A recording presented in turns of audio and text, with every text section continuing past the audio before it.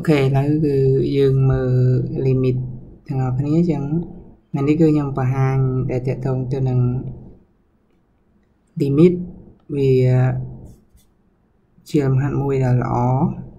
សម្រាប់យើងប្រឡងបាតុក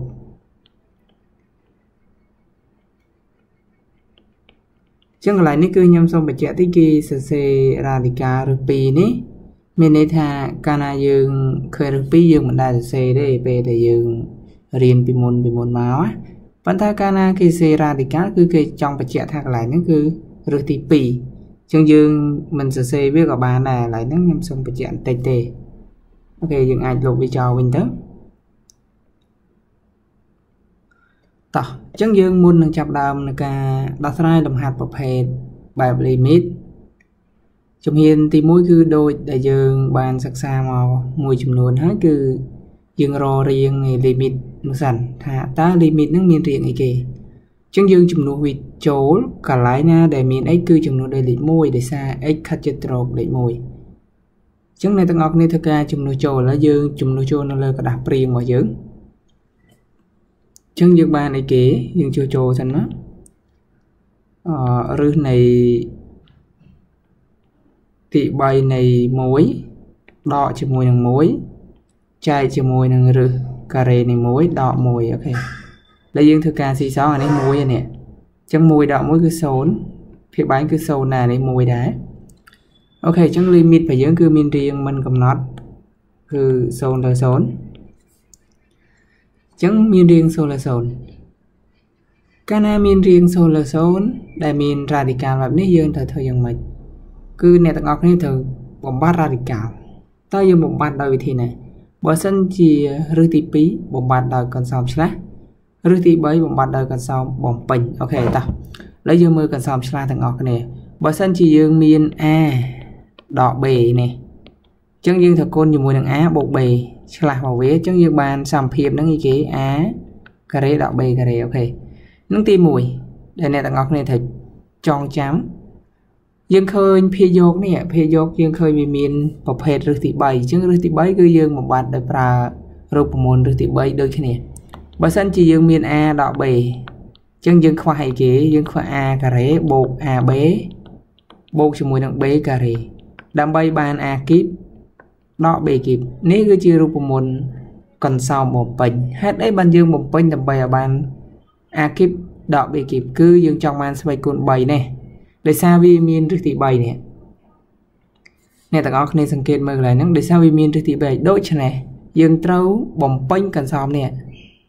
ឲ្យចូលរូបមន្តហ្នឹងដើម្បីបានរឹសទី3ដើម្បីកាត់ឬវាចោលអូខេឥឡូវយើងចាប់ដើមទាំងអស់គ្នាថាតើយើងគុណវាយ៉ាងម៉េចតោះចឹង a limit នៃ x ខិតជាត្រក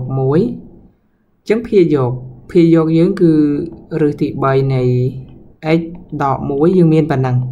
ចឹង a យើងគឺរឹសទី3នៃ x នេះ a ប៉ុណ្នេះ b យើង1ចឹងយើងត្រូវគុណកន្សោមបំពេញវានេះប្រើតាមរូបមន្តហ្នឹងមកចឹងបាន a ការ៉េចឹងរឹសទី3នៃ x ការ៉េ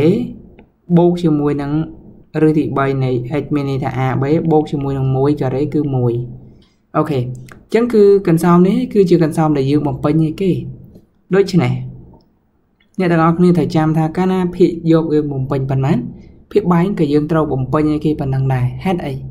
បើសិនជាយើងដាក់តែភាគយកអត់ដាក់ភាគបែងអញ្ចឹងវាខុសអូខេឥឡូវខ្ញុំគុណភាគបែងឯគេវិញណាអញ្ចឹង3នៃ x ការ៉េបូកឬទី3នៃ x បូក1អូខេខ្ញុំថែមប៉ុណ្្នឹងឲ្យគេដែរជាយើងមើលភាពបែងយើងនេះរឹសការ៉េនៃ x ដក1អញ្ចឹងរឹសការ៉េនៃ x ដក1អញ្ចឹងយើងគុណនឹងអន្សងឆ្លាស់អញ្ចឹងរឹសការ៉េនៃ x ដក1យើងគុណនឹងអន្សងឆ្លាស់វាគឺរឹសការ៉េនៃ x បូក1អូខេ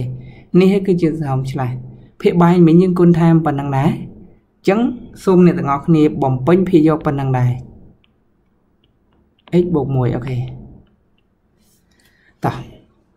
ចឹងយើងបំពេញរួចរាល់ហើយគឺយើងគុណនឹងអន្សមបំពេញនិងគុណនឹងអន្សមឆ្លាស់រួចរាល់ហើយហើយយើងមើលកន្លែងនេះគឺយើងចូលរូបមន្តណានេះចូលសមភាពទី1 ភាគយកប៉ុណ្នេះមកគឺយើងចូលរូបមន្តសមភាពទី2អូខេចឹងពេលដែលយើងសរសេរកិច្ចការយើងកុំបាច់គូនេះគ្រាន់តែខ្ញុំគូឲ្យអ្នកទាំងអស់គ្នាយល់ទេតោះចឹងយើងមើលបន្តទៀតគឺ limit នៃ x ខិតជាត្រក1យើងមើលកាលណាកន្សោមប៉ុណ្នេះគឺយើងចូលរូបមន្ត a គីបដក b គីបឯដែល a យើងគឺឫសទី3នៃ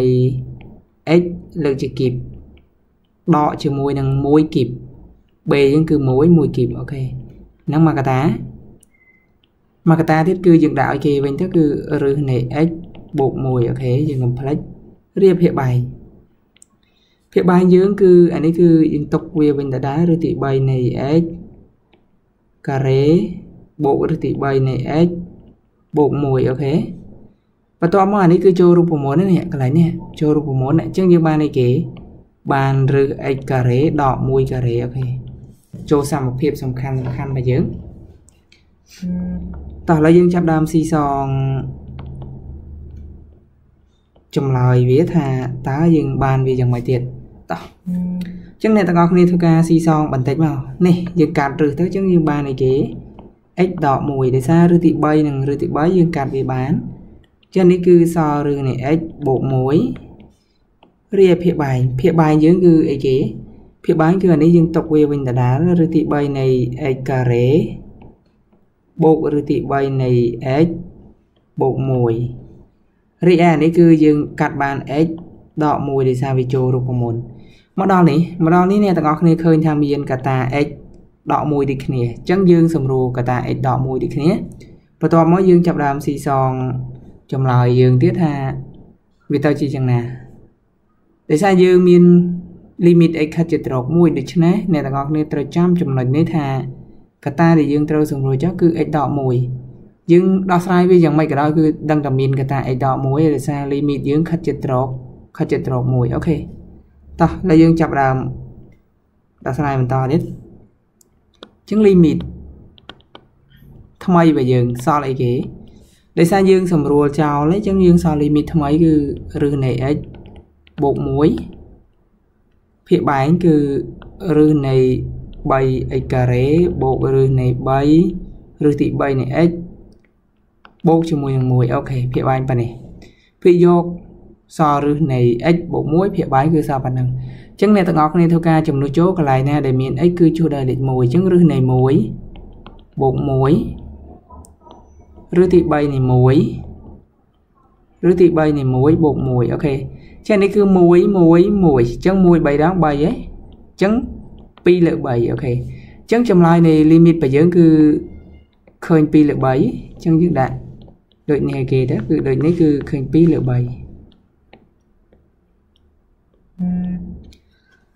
ចឹងចម្លើយចុងក្រោយរបស់ limit នេះគឺឃើញ2លើ3ហើយបើសិនជាមានចំណុចតែឆ្ងល់គឺយើងអាច comment នៅក្រោមវីដេអូនឹងបានខ្ញុំនឹងបកស្រាយ លំហាត់លំនាំនេះជូនមួយទៀតបើសិនជាมันមានអ្នកឆ្ងល់ទេ យើងបន្តទៅលំហាត់ថ្មីហើយសង្ឃឹមថាអ្នកទាំងអស់គ្នាយល់